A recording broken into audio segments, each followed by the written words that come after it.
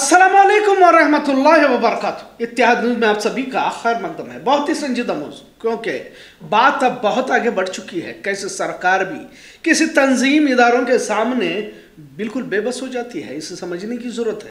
भले मुस्लिम समाज अपनी जिंदगियों में मस्त है, इसे किसी तरह की कोई परवाह नहीं है।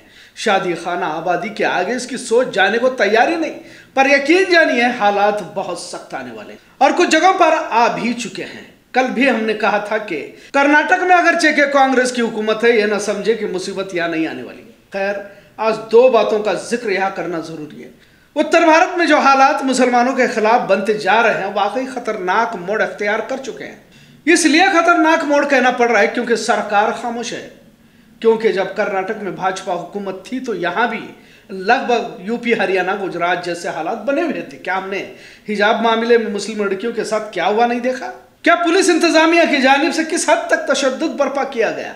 इसे महसूस नहीं किया गया? आज भी हुबली के 150 से ज़्यादा नौजवान यूएपीए के तहत जेलों में बंद हैं। कांग्रेस हुकूमत आने के बावजूद भी अब तक कुछ नहीं हो पाया। मुकदमे वापस लेकर रिहा करने की कोशिशें जारी है, लेकिन भाजपा संघ की जानब से मुखालफत की जा रही है। मतलब हुकूमत कांग्रेस की तो है, लेकिन भाजपा संघ का आज भी अपना दबाव बरकरार है, कह सकते हैं।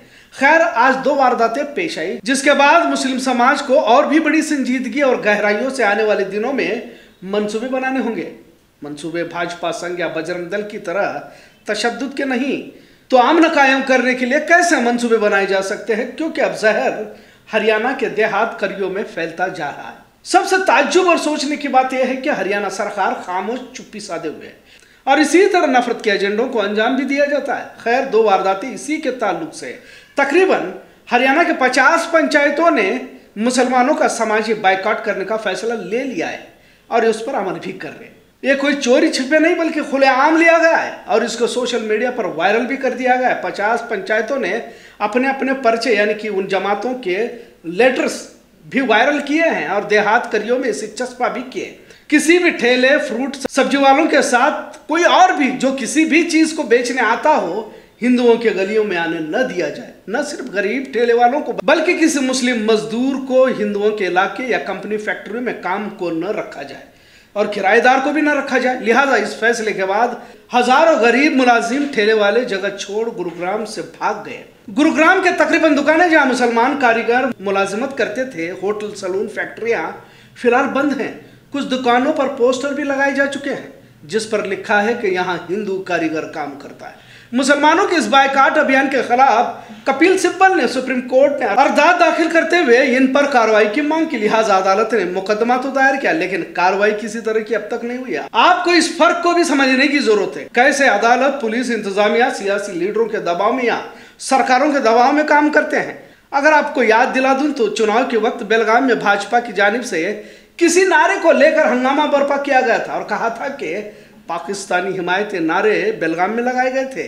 और सोशल मीडिया के साथ साथ पूरी नेशनल मीडिया ने भी इसे बड़ा चढ़ाकर पेश किया था। आप उस वक्त चेहरे भी नहीं पहचान सकते थे, जो तस्वीर अखबारों में छपी थी, क्योंकि कांग्रेस की जीत के जश्न में कईयों ने हरा कलर अपने चेहरे पर लगाया था। लेकिन महज उस फ़ोटो की वजह से कौन कौन थे, इसकी शनाख्त कर पूछताछ भी की गई। मतलब अगर किसी खास समाज का हो तो किस इंतहा तक पहुँच कर तहकीक की जाती है? पर कोई हिंदुत्व तंजीम का हो तो पुलिस ऐसे बर्ताव करती है कि जैसे किसी को ये पहचानते ही नहीं। लिहाजा गुरुग्राम में खुलेआम चुनौती दी जा रही है। आप इस वीडियो में भी देख सकते हैं और, और ना सिर्फ़ इस वीडियो में बल्कि जितने भी वीडियो फ़ोटो ए के फोर्टी सेवन लिए बजरंग दल के लोग घूम रहे हैं इन्हें पुलिस पहचान नहीं पा रही यहाँ तक कि अब तक मोनू मानेसर नामी दहशतगर्द पकड़ा नहीं गया। यानी किसी इंतहा तक सरकारी दबाव में पूरा सिस्टम काम कर रहा है। हरियाणा के साथ कर्नाटक की मिसाल इसलिए दे रहा हूँ क्योंकि कुछ लोग बड़े इतमान से हैं कि यहाँ कर्नाटक में तो कुछ होने वाला है नहीं। लेकिन जब सरकार बदलती है तो इनके काम करने का तरीका भी बदल जाता है। जैसे कर्नाटक में पुलिस स्टेशन का भगवाकरण किया गया था, कई सारे तशद फसादात में मारे गए। दूसरी वारदात भी सोचने पर मजबूर कर देती है। नू फसाद के वक्त हिसार के रविंद्र फोगाट और दो साथी, यानी कि तीनों हिंदू थे और वो नू गए हुए थे। इतना फसाद शुरू हुआ। ये एक बड़ी भीड़ को आते हुए देख रविंद्र फोगाट और दो साथी एक घर में घुस गए। ये घर अनीस नामी मुस्लिम शख्स का था। उसने अपने घर में उन तीनों को पनाह दी, उनकी खिदमत की और दूसरे दिन वहाँ से उन्हें सही सलामत बाहर निकाला। पर क्या आपको पता है उसके साथ क्या हुआ? उसी अनीस को जिसने तीन हिंदुओं की जान बचाई थी, उसके घर पर महज मुसलमान होने पर बुलडोजर चलाया गया। जब रविंद्र फोगाट जो बड़े कारोबारी और सरकारी कॉन्ट्रैक्टर है, उन्होंने पुलिस को फ़ोन करके कहा कि इस घर में कोई दंगाई नहीं रहता और न ये घर दंगे के लिए इस्तेमाल किया गया था। लिहाजा इस घर को न गिराया जाए, लेकिन बुलडोजर ने अपना काम तमाम कर दिया था, क्योंकि बुलडोजर किसी एक समाज के घर की तरफ़ ही अपने आप चल पड़ता है। इन दो वाकयात से सबक सीखना होगा। क्या वाकई इंसानियत नाम की कोई चीज़ आज भी बाकी है? जिसने इंसानियत के नाते जान बचाई, उसका घर भी गिरा देना वाकई तासुब ही कह सकते हैं। इससे पहले भी आपने देखा होगा कि कई जगहों पर मुसलमानों के खिलाफ तहरीकें छेड़ी गई। कोरोना के दौर में तो कोई किसी का नहीं था, पर मुसलमानों ने इंसानियत का सबक देते हुए गैरों की लाशों को अपने हाथों से उठाकर आखिरी रसूमात को अंजाम दिए। बाढ़ में यही वो समाज था जो पानी में जाकर किसी धर्म तफरकी की परवाह किए बगैर मदद करता रहा। लॉकडाउन में पैदल चलने वाले उन गरीब दिहाड़ी मजदूरों का मज़हब पूछे बगैर खाने पीने रहने का इंतज़ाम को पूरा करने की कोशिश की। ट्रेन और गाड़ियों के पीछे दौड़ दौड़ कर पानी पिलाता रहा। यहाँ तक कि दिगर मज़हब के जुलूसों में पानी फल, फ्रूट बांटता रहा। फिरका परस्तों की तरह जुलूसों में कभी हथियार नहीं ले रहा बल्कि इंसानियत की सदाओं को आम करते हुए मदद को दौड़ता रहा। कोरोना में भी इसी को कटघरे में खड़ा कर समाज बायकाट का ऐलान करने वालों की लाशों को यही समाज था जो उठाकर अंतिम संस्कार कर रहा था। वक्त और कुदरत ने हमेशा उन लोगों की हिमायत में फैसले दिए, जिन्होंने इंसानियत को ज़िंदा रखने की कोशिश की। एक बार फिर हरियाणा में अनीस ने इंसानियत को ज़िंदा तो रखा, लेकिन इसके बावजूद इसके मकान को गिराएगा ज़रूरी है मुस्लिम समाज को लम्हे फ़िक्र करने की। इस तरह यूँ हाथ पे हाथ रखे बैठने से कुछ नहीं होगा। सिर्फ़ हादसे के बाद मदद की रस्म को दोहराने से पहले आने वाले हालात के मद्देनजर भी तो कभी बैठकर सोचना होगा, क्योंकि हर बार फैसले आप ही के हक में आएँगे, ये ज़रूरी नहीं। आज का मौजू कैसा लगा, इस पर ज़रूर कमेंट करें। इतिहाद न्यूज़ देखने के लिए शुक्रिया। अल्लाह हाफिज। दुकानदार साथी है, वो ध्यान दे करके सुन ले। अगर उनकी दुकान में कोई भी बाहरी मुसलमान काम करता है, तुरंत उनको अपने दुकानों से निकाल दे सिर्फ़ दो दिन का समय अगर उसके बाद किसी दुकानदार ने किसी मुसलमान को अपनी दुकान पे रखा, उसके दुकान के बाहर उसके बहिष्कार का पोस्टर हम लगाने का काम करेंगे और उसको कौम का गद्दार घोषित करेंगे, ये बात आप सोच लेना।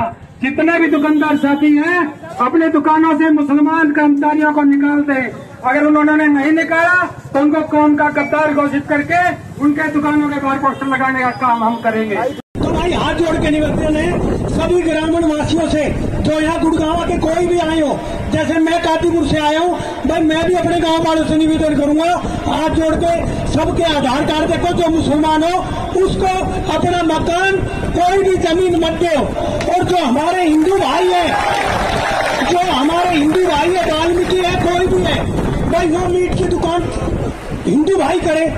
बाहर से आके मुसलमान यहाँ कमाते हैं और फिर वही हमारे ऊपर गोलियाँ चलाते हैं। तो भाई, हम सब जो भी तिगरा वाले हैं, जिनके साथ भाइयों के साथ नाजायज हुआ है, जो कि हमारे भाई उस मौलवी को मारने में नहीं है, क्योंकि वहाँ दंगे हुए थे और हमारे यहाँ भाइयों को फंसा दिया। तो भाई, हम सब साथ हैं आज।